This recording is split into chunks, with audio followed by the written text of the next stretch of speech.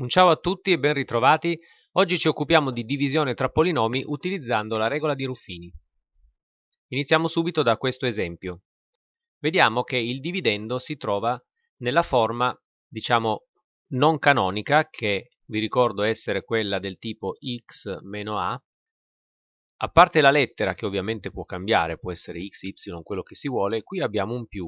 Allora noi dobbiamo ricordarci che questo y più un mezzo lo possiamo considerare come y meno, meno un mezzo, perché sarà questo valore che andremo a mettere nella nostra rappresentazione grafica. Quindi prendiamo i coefficienti di y del dividendo, abbiamo y alla terza, y alla seconda non c'è, 7 quarti è il coefficiente di y e poi mettiamo qui il termine noto 1. Qui dobbiamo mettere il valore che abbiamo determinato qui, quello che noi abbiamo genericamente chiamato a, quindi meno un mezzo, e andiamo. Abbasso l'1, moltiplico 1 per meno un mezzo, il risultato lo scrivo alla destra di 1, ma allineato con meno un mezzo, quindi meno un mezzo. 0 meno un mezzo fa meno un mezzo. Meno un mezzo per meno un mezzo fa un quarto, 7 quarti più un quarto fa 8 quarti che è uguale a 2. 2 per meno un mezzo fa meno 1, 1 meno 1, 0. Allora già sappiamo che il resto è 0. Il quoziente lo andiamo a scrivere in questo modo prendendo questi coefficienti e utilizzando la parte letterale che sappiamo deve partire di una unità inferiore rispetto al grado del dividendo che aveva grado 3, questo sarà il coefficiente diciamo del termine di grado 2. y alla seconda meno un mezzo y più 2. Questo è un aspetto molto importante, ricordarsi quindi che quando abbiamo qui il quoziente, questi termini rappresentano i coefficienti della nostra lettera, che in questo caso è la y, e il primo coefficiente è quello del termine che si ottiene abbassando di un'unità l'esponente del grado del dividendo. Grado del dividendo è 3, questo è grado 2. Consideriamo ora questo caso un po' particolare. Perché particolare? Perché abbiamo visto nella teoria che abbiamo sempre parlato di polinomi divisibili per un divisore fatto appunto, come abbiamo detto già in precedenza, in questo modo. Qui però abbiamo xy, però osserviamo che x e y qui sono insieme e hanno sempre lo stesso esponente. Allora possiamo in qualche modo considerare xy come se fosse una lettera unica, come se fosse, chiamiamola z. E allora qui che cosa avremmo? Avremmo z alla quarta meno 2z alla terza meno z più 1 diviso z meno 3. Siamo nella forma classica della regola di Ruffini. Qui ho usato z ma mi serviva solo per far vedere questa cosa che non ci crea problemi. Mettiamo i coefficienti 1, meno 2, 0 perché manca il termine alla seconda, poi abbiamo meno 1, poi abbiamo 1 e il termine diciamo che compare nel divisore che dobbiamo mettere qui è 3 abbasso l'1 e vado a svolgere i conti.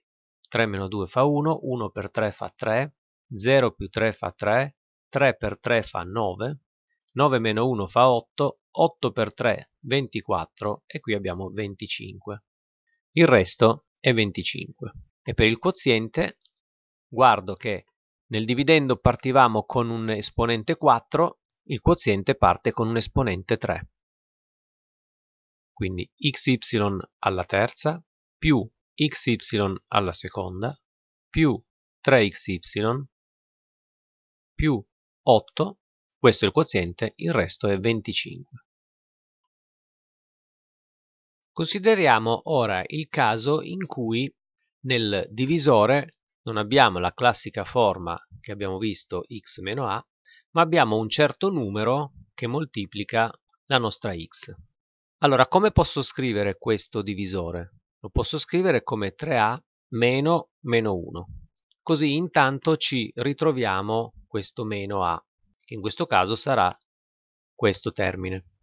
Però dobbiamo ancora occuparci di questo coefficiente che disturba. Allora, è un 3, dividiamo tutto quanto per 3, ottenendo questo tipo di divisione. a alla terza perché faccio 3 diviso 3, meno devo ordinarlo, quindi meno 2 terzi alla seconda, perché con Ruffini dobbiamo mettere i termini ordinati per potenza decrescente. E allora qui abbiamo A alla terza, poi mettiamo A alla seconda, poi mettiamo A che quindi diventerà più un terzo A perché stiamo dividendo tutto per 3, meno un terzo. Questo è il nuovo dividendo e il nuovo divisore sarà A meno meno un terzo. Siamo partiti da questa scrittura, ho diviso per 3 e ho ottenuto questo. Allora vado a mettere i coefficienti in ordine per la regola di Ruffini. 1 meno 2 terzi, un terzo, poi ho il termine noto meno un terzo. E qui andiamo a mettere il nostro meno un terzo. Abbasso l'1, 1 per meno un terzo fa meno un terzo, lo scrivo qui a fianco. Sommo in verticale, quindi meno 2 terzi meno un terzo fa meno 3 terzi, ovvero meno 1. Meno 1 per meno un terzo fa più un terzo, sommo un terzo più un terzo fa 2 terzi, 2 terzi per meno un terzo fa meno 2 noni. Meno 2 noni meno un terzo, vedete che io posso passare da un terzo a una frazione equivalente moltiplicando numeratore e denominatore per 3, quindi se moltiplico questo per 3 ottengo meno 2 noni meno 3 noni, così ho due frazioni con lo stesso denominatore e faccio la somma algebrica dei numeratori. Meno 2 meno 3 fa meno 5 noni. Quindi il risultato qui è meno 5 noni.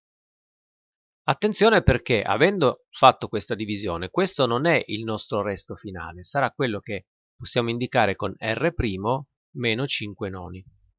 Il quoziente invece è quello definitivo. Siamo partiti da A alla terza, qui sarà A alla seconda, quindi il quoziente è A alla seconda meno A più 2 terzi. E come facciamo a ricavare il resto?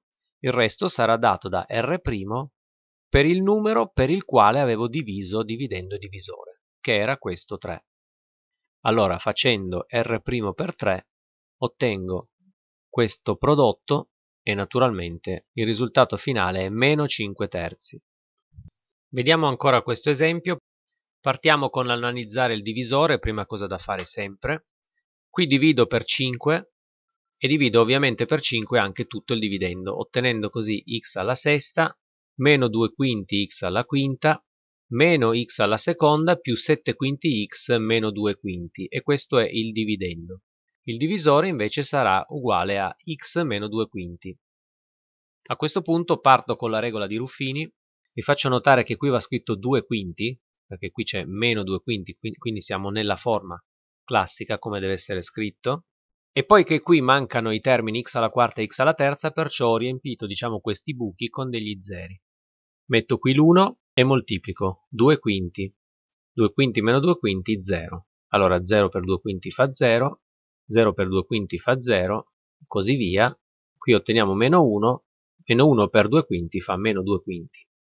7 quinti meno 2 quinti fa 5 quinti che fa 1, 1 per 2 quinti fa 2 quinti e guardate un po', 2 quinti meno 2 quinti fa 0. Abbiamo una sequenza di 1 e di 0. Questo è un termine x alla quinta perché siamo partiti da x alla sesta. Quindi abbiamo x alla quinta, poi questo sarebbe x alla quarta, x alla terza, x alla seconda, questo è x e questo è il termine noto. E allora il nostro quoziente è questo, il resto è 0. Questo è il nostro sarebbe R'.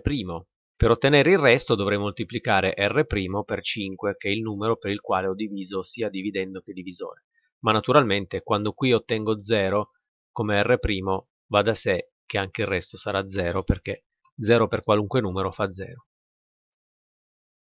Io vi invito a iscrivervi al canale ad attivare le notifiche così saprete quando usciranno i nuovi video con questo termina questo video di esercizi sulla regola di Ruffini che spero vi sia stato utile. Ciao!